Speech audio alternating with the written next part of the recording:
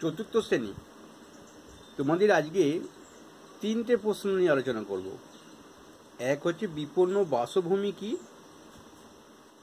আর একটা হচ্ছে কুসংস্কারে বসে শিমুল গাছ কেটে ফেলা হচ্ছে। কেন কুসংস্কারটা কি? কি সেটা নিয়ে আলোচনা করব। আর আমাদের সুন্দরবনকে দেখলে নাকি মাথায় টাকার টাকের মতো লাগে। এই যে প্রশ্নটা, এই তিনটে প্রশ্ন নিয়ে আমি আলোচনা করব। দেখো, বিপন্ন বাসভূমি বলতে বাসভূমি মানে বাস করার জায়গাটা হারিয়ে চলেছে, নষ্ট হতে যাওয়া। মানে পশু পাখিদের বাসস্থান নষ্ট হতে যাওয়াটাই হচ্ছে কিন্তু নষ্ট হতে চলা মানে নষ্ট হয়ে যাচ্ছে এরকম দ্বারা। বিভিন্ন কারণে হতে পারে। ধরো সেখানে বারবার বন্যা হচ্ছে। বা সেখানে খাবারের সংকট ধরেছে, সেখানে বাস করার মতো জায়গাই নেই। খাবে কি? বা জল নেই।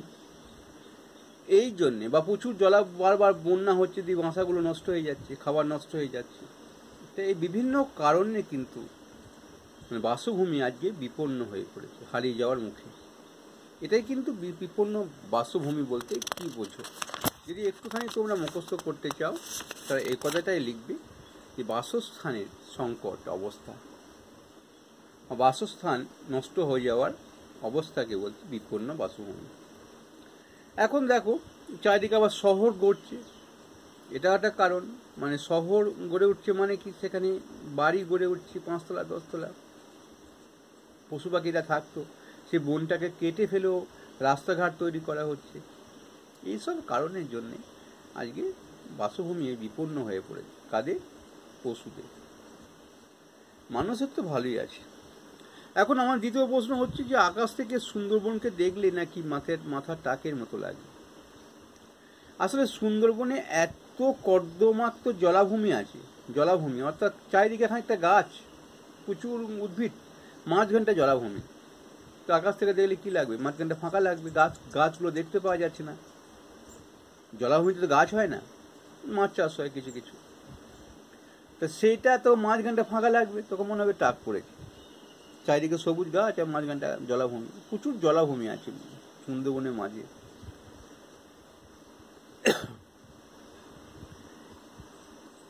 আর কুসংস্কার, কুসংস্কারে বসে নাকি শিমুল গাছ কেটে ফেলা হচ্ছে।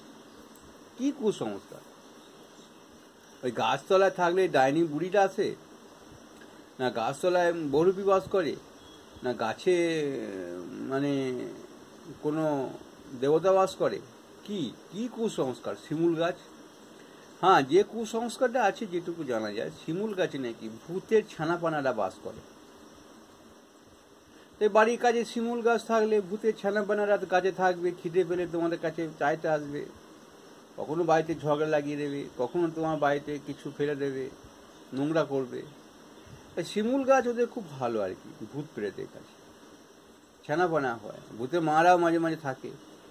এই জন্য আর কি শিমুল গাছ কুসংস্কার, এটা খুব খারাপ।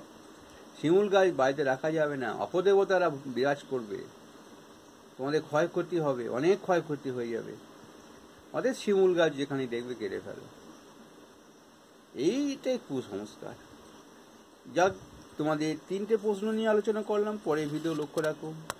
তোমাদের এই একটা ভালো ভালো প্রশ্ন আছে এই জায়গাটা, আমি আলোচনা করে দেবো।